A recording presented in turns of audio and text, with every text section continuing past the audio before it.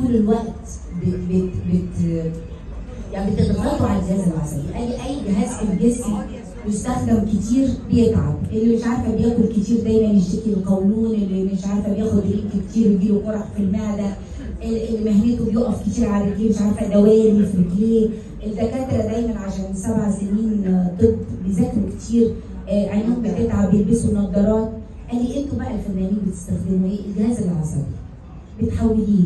من فرحانه لحزينه أنا ممكن في يوم واحد مشهد فرح وعشان معانا الكومبارس النهارده كان موفر انتاجين عندنا مشهد عزا وموت وبتاع. ففي برضه ناس فنستغل الكومبارس في الاثنين فأعمل مكياج وأعمل فرح وبعدين ألبس أسود وأصرخ وأصوت واطلب فالنقلات اللي بين ال- ال- الحاجات اللي الواحد بيعملها لازم تدمر الجهاز العصبي. مع الوقت وكتر حفظ كلام مش كلامي ومفردات مش مفرداتي تعليق محمود جدا جدا آه أنا هسمع تعليق. على السؤال ده على فكره آه. بس فعلا فعلا يعني خفت عليكم وأنا خايفة عليا أنا عايز اطمن كل الممثلين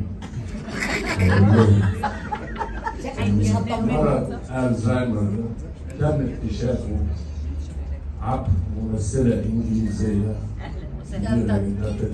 أول اكتشاف لالزهايمر كان على ممثل أنا أطمنكم كلكم. لا ده حقيقي يا جماعة بجد. لأن إحنا بنستخدم الجهاز العصبي كتير والذاكره بتاعتنا بتتحمل فوق طاقتها. يعني لما بحفظ مثلا مسرحية بس لوحدها 200 صفحة لغه عربيه وفصحى واقف عشان اقولها يعني أحفظ 200 صفحة يعني حجم الكلمات وده بحفظ أدوار كتير قوي.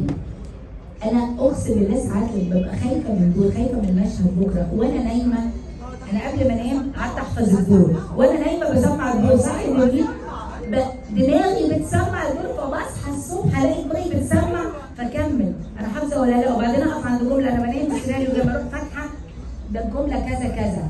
فإحنا الحاجات دي بتضغط على المخ جدا لأن بنحمل المخ فوق طاقته والألزهايمر ده كله على المخ وعلى الجهاز العصبي.